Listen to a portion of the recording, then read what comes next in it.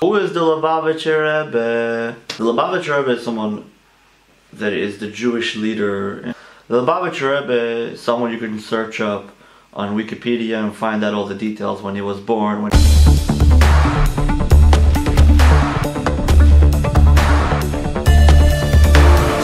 I'm here to give you what I experienced through the Rebbe growing up in Crown Heights, Brooklyn, the community where the Rebbe uh, has hit most of his followers, the community from which the Rebbe spread his light and his vision throughout the world through sending shluchim, which means messengers to all corners of the world to spread Judaism, Hasidic philosophy, and the message about the redemption.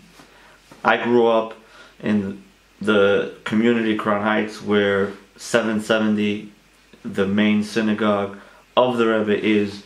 I grew up spending a lot of time there. I want to share the experience, the education, and why I think it's so important that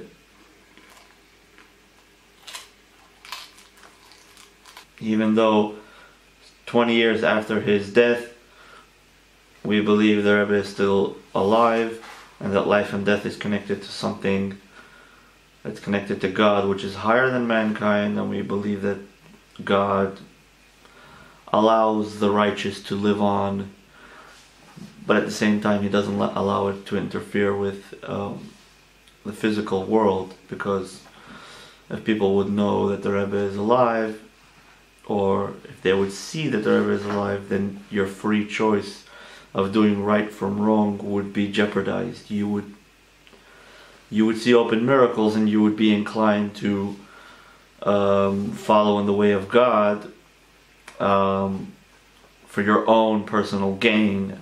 God always wants you to think um, that you have free choice, and free choice means you can decide to be selfish or to give to the world, and you always have to see a benefit in both.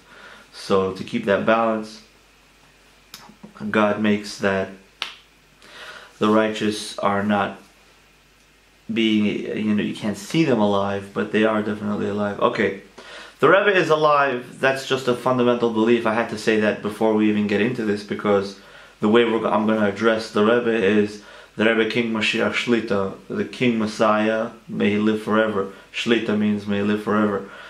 So I didn't even start talking and I'm already telling you what I think about the Rebbe. Okay, very biased, very biased of me but that's how it is. You see, when you grow up uh, in a community for 20 years, you you you you get a bi- you get a biased opinion about things. It's not so much a bad thing because if you're biased for goodness and kindness, if you're biased for a righteous cause, I don't think it's a problem. Now, is it a righteous cause? We'll find out in a minute.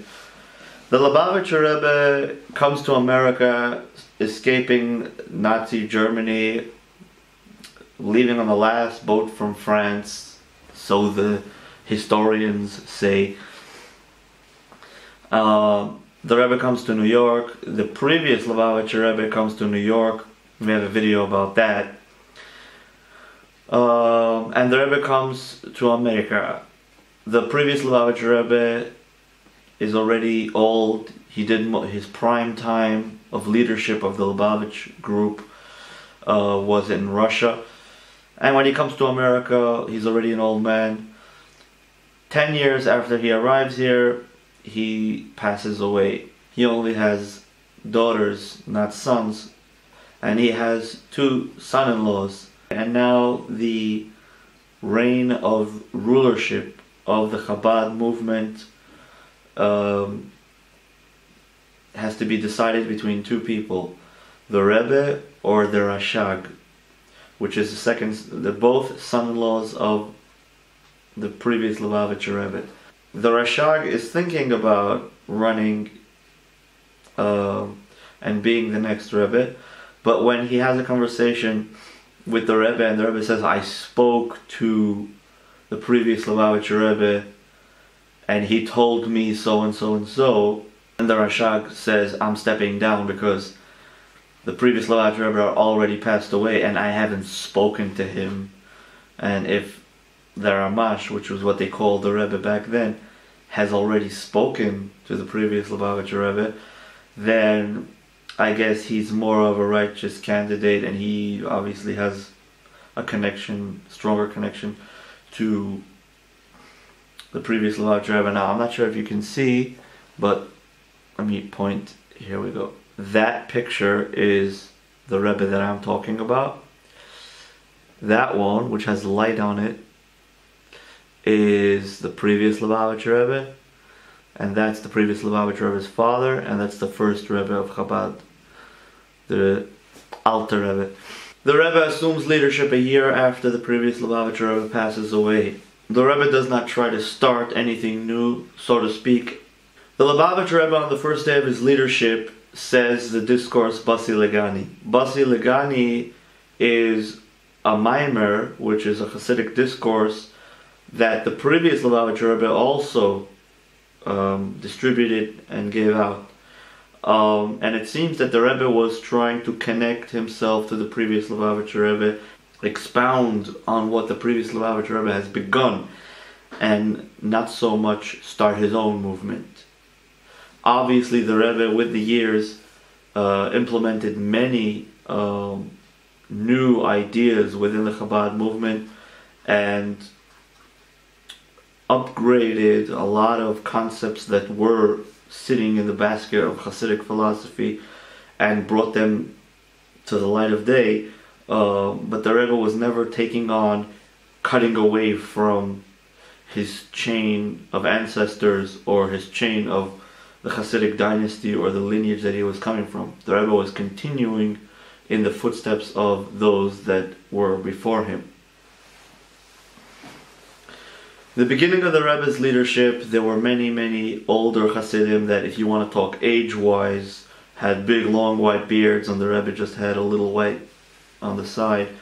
But the Rebbe obviously surpassed them in knowledge and in spiritual refinement, and the Rebbe just um, humbled anyone that even tried to uh, challenge the Rebbe. The Rebbe also had a very strong positive energy, and even the worst creatures of the world can come to the Rebbe and not find any way to get under the Rebbe's skin. Not only that, the Rebbe owned all these people. The Rebbe totally understood how to behave towards every creature according to their subscription you know, studying psychology and and knowing a little bit about different kinds of people and how they try to manipulate others and they're not exactly what they say they are. They always have something else going on in their head. It's amazing to see how the Rebbe never once fell for any psychopaths or narcissists or all kinds of weirdos that had all kinds of agendas um, and might have been jealous upset, annoyed, and many other things, you know, going on in their heads when they came to the Rebbe. And you can see that in the dollars. The Rebbe, people say the Rebbe had, you know, you know, you can read someone's thoughts, and uh, you see that a lot of times. You see that there was a guy there thanking the Rebbe and you know, you know, flattering the Rebbe, and then the Rebbe says, "Don't try to bribe me." and then the guy just bursts out laughing and you're talking about like and, and, he starts to apologize to the Rebbe for trying to bribe him with all kinds of flattery words that he can he should endorse a certain mayor uh, you know that the Jewish people should vote you know so you see there's a lot of I don't know people came and tried to test the Rebbe the reason it's so important for me to discuss the Rebbe is because the Rebbe is my strongest source of hope and inspiration the Rebbe's work is unbelievable and the Rebbe's outlook on life is so positive and so bright. The Rebbe, you know, merely wanted goodness and kindness in the world. That's all he wanted. He wanted the seven laws of Noah for all mankind to go public and go viral. He, the Rebbe wanted to advertise and proclaim that the redemption is here, and we have to open our eyes to see that the redemption is here, and we have to focus on positivity in the world. No matter how you look at it, you can't find the, the Rebbe caring about anyone else other than the population. And I hope that I go in that way, and I hope that I succeed in um, living up to that, you know, worldview. The Rebbe also uh, had a lot of. Uh, the Rebbe was also able to deal with the world and see what the world needs, and not only what his Hasidim need, what his followers need. The Rebbe had a very global vision, and that's why the Rebbe always tried to broaden the boundaries, physical and spiritual, of the Hasidic group.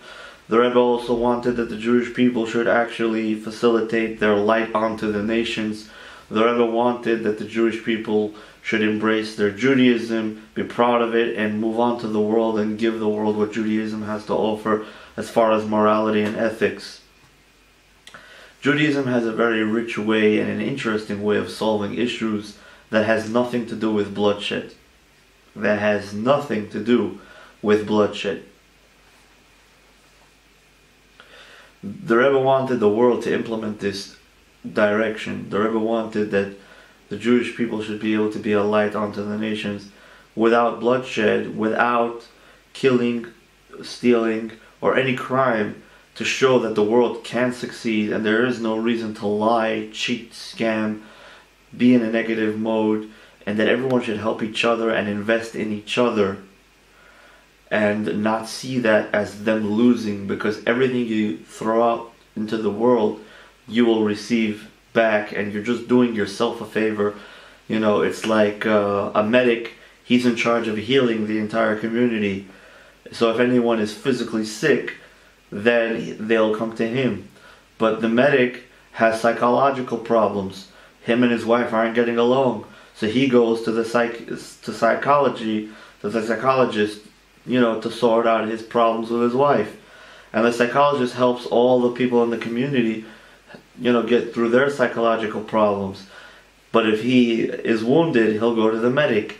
The same thing is, everyone has to understand, you know, you're giving to the entire world. You have this power to give to the entire world. And you should give to the entire world. And you shouldn't be greedy and think, oh, look, I'm helping everyone. Why isn't anyone helping me? People are helping you. You know, you don't grow tomatoes, you don't grow lettuce. Maybe you do, I don't know. But you you know there's ways that everyone is helping each other. So don't be upset when it's your turn to help the world. That was the Rebbe's that was the Rebbe's vision. That's what the Rebbe wanted people to be. Selfless when it comes to ego and greed. The Rebbe wanted to open our eyes to see the world vision. The Rebbe didn't want us to stay stuck and narrow on one little thing. Me, me, me. I need more money. I need more this. I need more that. Uh, you don't need money. You don't need anything. Just shut up and help the world and, and, and, and it's so fulfilling to help the world. Why is it such a challenge for people to do it? People are living, living in their little incubators, and then finally, when they get on the internet and they're supposed to be broadening their horizons, they're supposed to be getting a world view instead of going and, uh, you know, searching up, you know, things that are actually important in their life. They search up satisfying videos. There are these satisfying videos on YouTube that literally make no sense in the world. It's just like chocolate pouring onto trays and machines moving real quick and all kinds of other garbage which, you know, satisfying. I guess it's satisfying, you know, but there's nothing and they have millions of views, billions of views. I guess people really like seeing satisfying crap. But guess what? That won't make the world a better place. Finally, you're online. Finally, you can learn something that you didn't know till now. And that's all you care about is satisfying yourself and going, ah, that was great. Now let me go self indulge just a little more because I have to take a break from self indulging.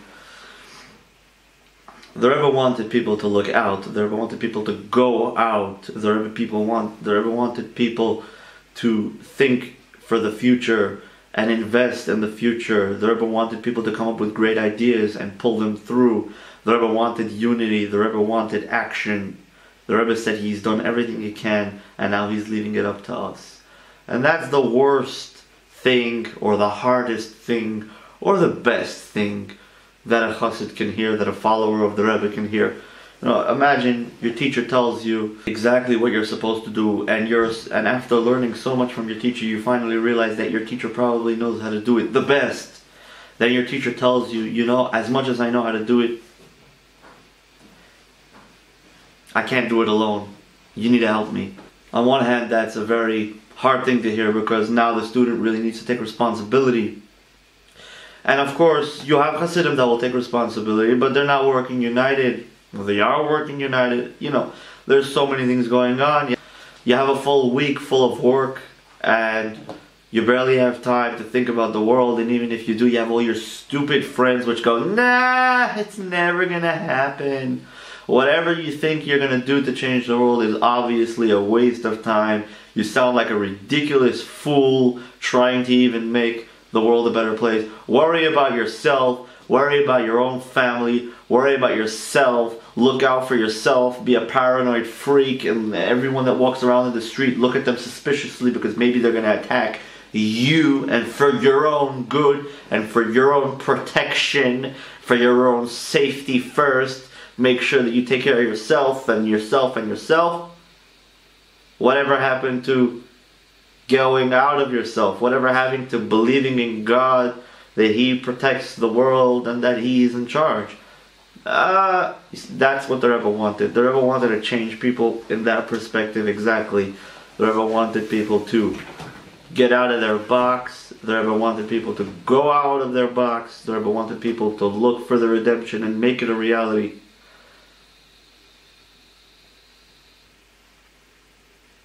That was what the Rebbe wanted. That's what I get from the Rebbe. Anyone that wants to learn about the Rebbe, there are books from. You can check on the Rebbe's videos. JEM uh, puts out videos. They put out selective videos about the Rebbe. You can get a small taste of the Rebbe from there. There are other people who put out videos. Obviously, there's no funding to translate all the Rebbe's videos to English, and uh, I don't know. I mean, he got a he got a medal that in almost a hundred years, nobody in the American, nobody in the society got such a medal of honor for helping the the, the for helping society so much. The Rebbe got a medal that in the last hundred years in America nobody got such a medal. That's how much the Rebbe was a beacon of light in the world. Yet, besides the medal, the Rebbe did not yet get the funding he needs for all of his videos to be translated to Yiddish, to, from Yiddish to English so that the American people can also get a taste of what the Rebbe's greatness was all about and not only his followers or those who speak Yiddish. So, it's very nice of the American government to give the Rebbe a Medal of Honor.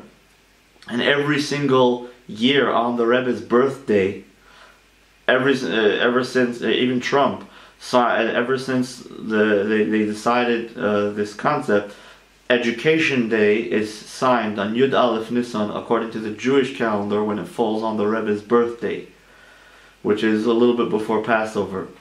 And every single year they sign, the president signs this and it becomes news and everything. But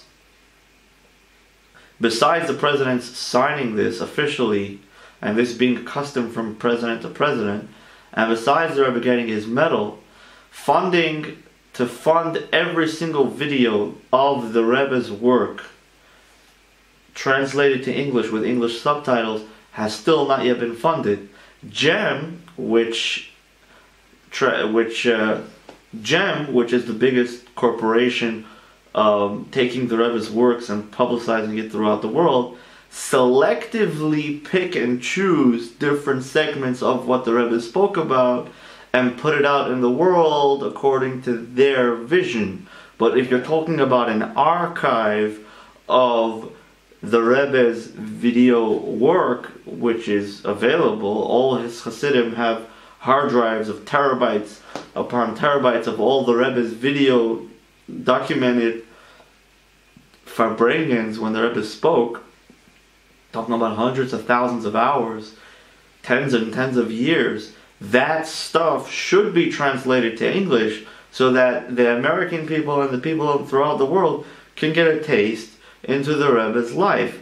But funding for that has never been given due to poor political management of the Chabad movement and I guess lack of interest or the government being corrupt or all of the above. So, on this day, which is the end of Passover, I tell you a little bit about the Rebbe, and I tell you that there's so much more, and I also tell you that there's nothing like watching the Rebbe himself speak and getting a taste because I can't, I'm not on the Rebbe's level, and there's nothing like seeing the Rebbe himself. And again, if you want to know things that you can do if you're a private person, learn the bi- biography of the Rebbe, learn about who the Rebbe was, try to find some YouTube material or whatever online information that you can about the Rebbe. And if you're up there in the government or if your name is Rothschild or something like that, then you should definitely put together a detective crew which should go in and find as much um, video of the Rebbe and they should translate it all in English, all of the Rebbe's work, organize it, and not censor it at all because every word the Rebbe says is important. Whether today it doesn't fit the political agenda, it might fit the political agenda tomorrow. The Rebbe's um, archive must be whole. You can't cut and choose and pick and this and that according to the waves of democracy or whatever other garbage is going on because the Rebbe has a humane and ethical and moral uh, light that he wants to share with the world and you can't you can't diminish it you can't give it in small doses peace out Yechiel hope you enjoyed please like and share subscribe if you want to see more of this and don't forget to check on our YouTube channel for more things that are connected to Mashiach and how you can prepare and accept upon yourself the Rebbe King Mashiach Shlita. I didn't even get close to talking about how the Rebbe is Mashiach, which is obvious, and how the Rebbe is a prophet, which is obvious. I do go through these things throughout my channel and my 200 videos. This channel is only about Mashiach, it's only about the Rebbe and how we can prepare and accept Mashiach. So I'm sure you'll have a good time if you check it out. Don't forget to share it with the world. It's also uh, going to make the world a better place. And see you around. And I'm still waiting for Infowars.com, Mark Dice, Ron Johnson, and all the good guys to talk about Orthodox Judaism, the light of the Lubavitcher Rebbe, and how it affects the world. It's like talking about, you know, they're always avoiding the big elephant in the room. They're talking about Trump and Syria and this and that and that and the other. Why don't you talk about the light unto the nations? Why don't you talk about the Jewish people being a light? Why don't you talk about the Bible the way it is, and then mix it with you know, you know, you know, you know? I, I'll tell you one thing. I was very impressed. Trump put out a video. He got a good few million views in a very short amount of time, which is not every video gets a few million views in a short amount of time. And he mentions Passover before Easter, and he says the Jewish people are celebrating Passover.